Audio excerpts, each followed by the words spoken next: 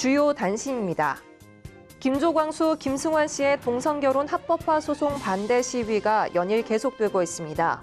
교회와 학부형 시민단체들은 이들 커플의 첫 심리가 열린 지난 6일부터 현재까지 법원 앞에서 피켓 시위를 벌이고 있습니다. 단체들은 시위에서 해외에서는 동성혼 합법화로 영유아에게 동성애 교육이 의무화되고 동성혼 주례를 거부한 목사는 징역과 벌금형에 처해졌다며 법원의 올바른 판단을 촉구했습니다.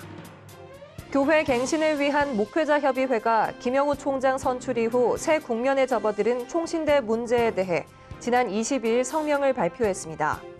교갱협은 성명에서 총장 선출의 합리적 절차와 객관성, 투명성은 사라지고 소수의 정치적 결단만 남았다며 총신대는 더 이상 교단 정치의 희생양이 돼서는 안 되며 새로운 재단 이사 선임과 정관 개정은 투명하게 진행돼야 한다고 강조했습니다.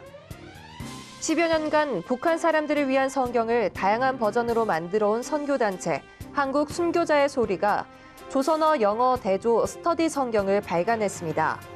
북한인들이 이해하기 쉬운 북한어에 영어 성경을 함께 붙이고 해설과 주석까지 달아 탈북민 선교에 더 효과적으로 활용될 것으로 전망됩니다. 작은 교회 목회자와 가족을 섬기는 크리스천 라이프 센터가 제14회 겨자씨 축제를 오는 8월 17일에서 18일까지 이틀간 개최합니다. 축제는 목회자 부부의 건강한 가정 설계 특강, 가족 공동체 놀이, 작은 콘서트 등으로 구성됩니다. 개척교회나 농어촌교회 담임 목사 가정만 홈페이지와 이메일을 통해 신청 가능합니다.